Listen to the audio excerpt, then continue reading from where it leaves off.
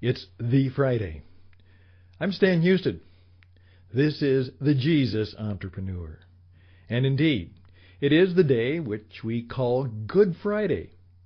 And it is also today will be at sundown, the first day of Passover in the Jewish tradition and celebration. They come together in a very unusual and unique way to present a story, but in presenting a story, they, of course, do what all stories do. They challenge us to change, to uh, think differently, perhaps to act differently, perhaps to seek different and deeper experiences of what is really true.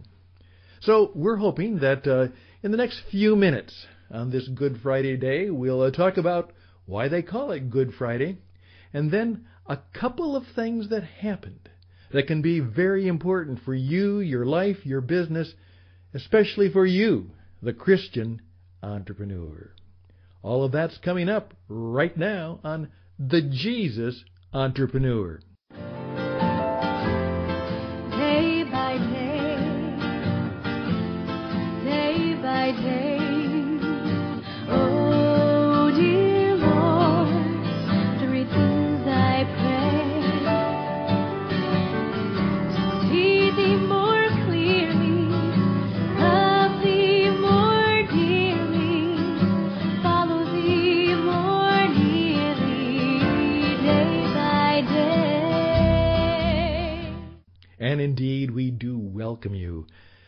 Been going through this week. We've put together about four or five programs this week. Oftentimes it's three, maybe four, but hopefully we speak when we have something worthwhile saying and something that can help you in your life and your business and in building your brand. That's what we're all about. Again, my name is Stan Houston, and I'm a business performance coach. I'm the co-founder of the Christian Entrepreneur Network. I have a lifetime of experience as an international broadcaster, as a worldwide teacher, and as a business performance coach, primarily to uh, entrepreneurs and small business owners, helping them make their mark in the marketplace. And I'm so glad that you can join us. You can find out more about us as we are going and growing and making a better website, a web stage. We kind of perform on it in some ways. We show you what we can do and how we can help you. It's tcentrepreneur.org, tcentrepreneur.org. You're going to find there's some uh, interesting videos there, and there will be more of them. Particularly, there's a video right now. It's about 40 minutes. It's a program that I did, you know, kind of an under an hour course uh, called God Wants You to Be an Entrepreneur. That's right. I just come right out and say it. God wants you to be an entrepreneur. So uh, why don't you this weekend uh, take a few minutes to look at it and share it with somebody who might be thinking about entrepreneurship? Because indeed, God wants you to be an entrepreneur, or at least He wants you to think and act like one. Well, just let that sit on your head for a while, but take the 40 minutes to see the program. Once again, tcentrepreneur.org if you have any questions that uh, I can help you with about the program, about your life, your business. If you think that what you hear from me could be helpful and useful, or perhaps I can uh, share something or know something that might be helpful to you, if you have any questions or comments, just very simply, RadioEdge77 at gmail.com, RadioEdge77 at gmail.com, the Radio Edge uh, studio on uh, Route 77 near Tucson, Arizona, in the southwestern part of the United States. We're glad you could be with us. Now, today, the question why do they call it Good Friday? This is the day. And I lived uh, in many parts of the world, particularly in the Latin American part of the world, where this day was a dark day. I mean, every business closed down. That was just the way it was, at least in the part of the area that I lived in. People did what I'm doing today. Oftentimes they wore black. Uh, there was a somberness to all things. Uh, even those people who weren't particularly religious, at least in their usual life and expression, this was a day they honored. This was a day that uh, they made sure that they went to uh, worship or mass or in some way uh, uh, commemorated, if not celebrated, uh, the moment of Good Friday. Now, why is it called Good Friday? Well, I will let you do that. I once did a program on that. Radio Netherlands called up and said they knew a little bit about my background. This was many years ago.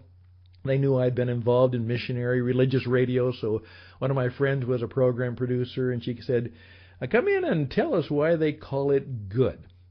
Well, I'm not going to go into that, but you can look it up because it's actually quite a mixed up story. Billy Graham will give you the traditional uh, interpretation is that it's good not because of what happened today, but because of what happened after today.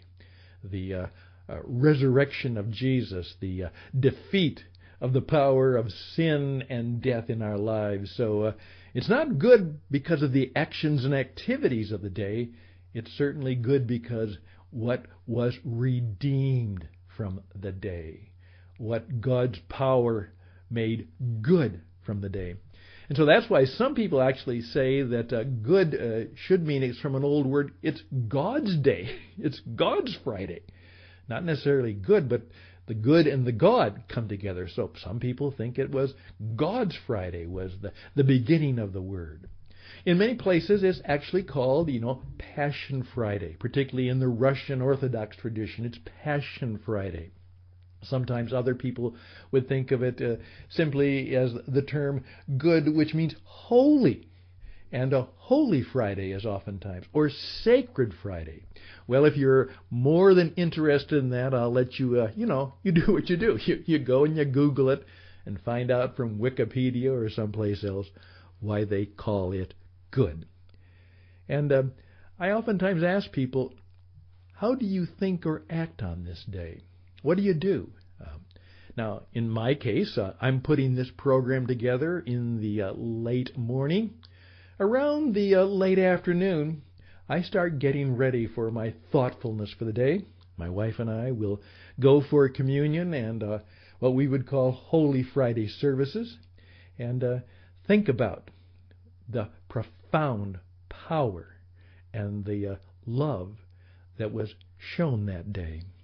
And I'm also remembering that uh, last night, Thursday night, at uh, the dinner time, at the Last Supper, uh, at the washing of their feet, and I would encourage you to go back and listen to yesterday's program, is uh, that uh, out of all of that stuff, you know, all of the things that came out of that, what happens is that uh, Jesus said, you know, when you do this, remember me. In remembrance of me. And today, it was the thief on the cross who deserved perhaps to die, who looked at Jesus and said, Remember me.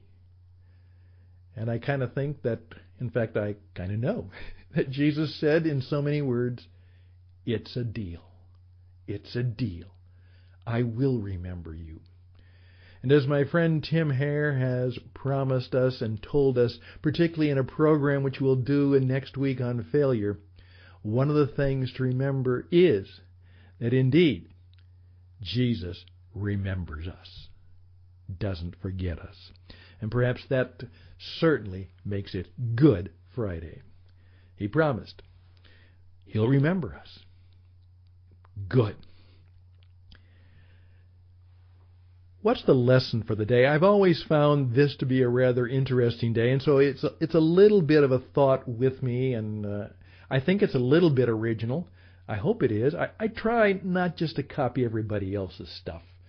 Um, I try to think myself through some of this and see if I can find something that will be helpful to you. But may I do this, and we'll try and keep it somewhat short because we've got lots to do. We've got uh, ways to think and uh, pray about and uh, get ready for the uh, activities. I don't know if we'd call them festivities, but in some cases that's a good word because it helps us remember that we are remembered. But um, Pontius Pilate is certainly the major character along with Jesus.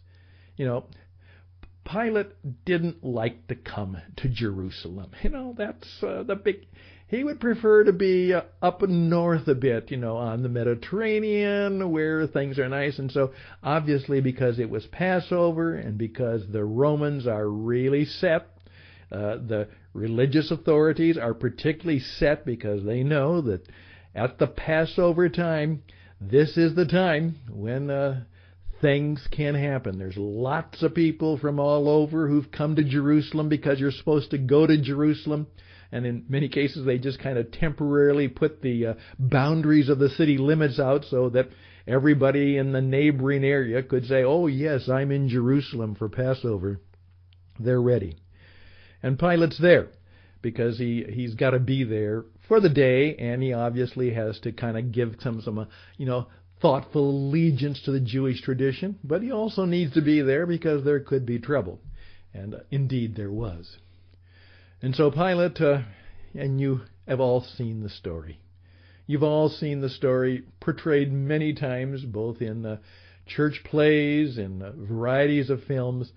Pilate is there, and he's been portrayed in many ways. You know, is this a guy who just wants to get out of the deal? He, there's all kinds of stuff that you can do with the character of Pilate, and I'm not going to do much with that. To say, obviously, he was a conflicted man. He was there because he was trying to get his ticket punched so that he could get back to Rome and live the good life. He'd put in his time. He had been out in the boonies and now he had, you know, got the ticket punched and now he can live the good life in Rome. So he's trying to get through it. Doesn't want trouble. Doesn't want to cause trouble. Wants to keep trouble down. He wants to please Caesar and the crowd knows that. Hey, hey, if you don't take care of this guy, Caesar will be ticked off at you. And he knows that threat, and he knows it's probably true. You know, there's so much politics. Human nature is at its premier worst. We see how we really are on this day. This is not an extraordinarily bad day. This is an ordinary day. The kinds of things that we see on this Friday are the kinds of things in some ways that happen every day. But it's the microcosm of good and evil, of right and wrong, doing their dance, doing their thing, and see who will triumph this day. In the midst of that, I just want to point out that uh, Pilate asked a question. It's one of the great questions. You know, Jesus, you know, He's here with the truth. He is the truth. You know, the way, the truth, the life. And Pilate asked the modern day question Yeah, yeah, what is truth? Everybody's got their own truth. You've got yours, I've got mine, Rome has theirs, the Jews have theirs. Hey, it's a relative world, it's a relative universe. We're all postmodernists now, buddy. What is truth? Yeah, what is truth? You say you're the truth? Well, what is it? And that's the question that you and I have to ask all the time. I've oftentimes said that one of the best ways to market yourself is to put together what I call a truth claim and a belief statement. I've had many, many successful business people who the only thing they had on their brochure was a statement of what they believed to be true about life, business, and service. I believe. It's a powerful thing for you. And I'd be glad to help you because I've got a little booklet that can help you discover how do you come up with the statements about what you believe is true. I sat down one day and took a long, long day, and by the time I was done, over my wall I had 400 little jottings of what I believed to be true about life, business, success, God, me. And then I tried to see, did I still believe that? And then, what are the big ten truths? These are the two, ten, twenty, one hundred things that I believe, that I believe should guide my life. I've done that work, and perhaps I could help you do that work. But I was answering the question from Pilate What is truth? And I'm going to encourage you to think about that yourself on the day that Pilate said the premier question in the world What is truth? but he also made a statement, and I'd encourage you to go back and see it. Finally, he presents Jesus to the crowd, and he has this expression Behold the man! Behold the man. And boy, that's true. Pilate spoke the truth. This is the man. This is the one. This is the man. This is the Son of Man, the Son of God, the one who makes things happen and makes it possible. This is the man. And oftentimes, what I tell people is that the kingdom of God was an idea. It was codes and laws and principles and practices dating way back to the time when God first entered the experience of Abraham and then, of course, giving of the law after coming out of Egypt. There are the Ten Commandments and these are the prophets and this is what the kingdom of God is kind of like. Psalms, Proverbs, prophecies, uh, Ten Commandments. Finally, the whole thing is represented by a man. Now, isn't it unusual, but not unusual, to see that many great organizations find themselves having the man, the woman, that gives a person, a personality, a face to the whole idea? There's no comparison, but Apple, the man was Steve Jobs. And for many, many organizations, you know, evangelism, the man was Billy Graham. I'm going to encourage you in your business development that you also begin to say, Am I worthy to be for the organization and the enterprise that I'm building?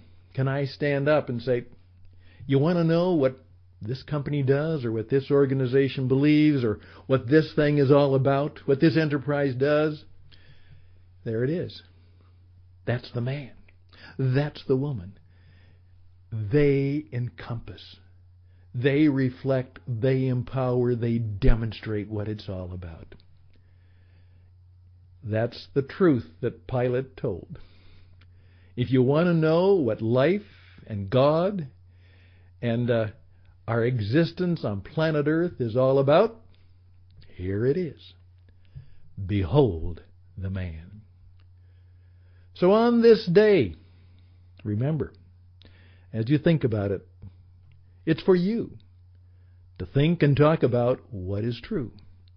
And for you to understand that fully and joyfully, when it comes to the kingdom of God and the way we should live our lives, the truth is, behold the man.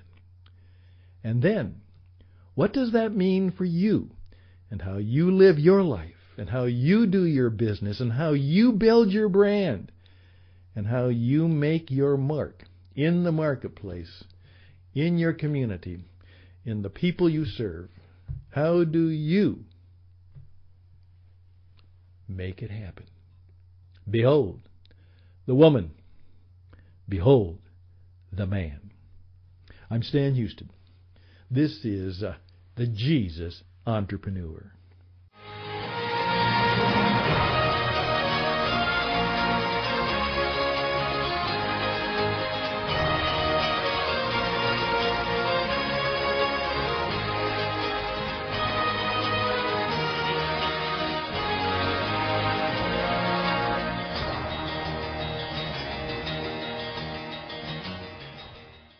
Thank you for taking time to remind me of what I believe and what I know.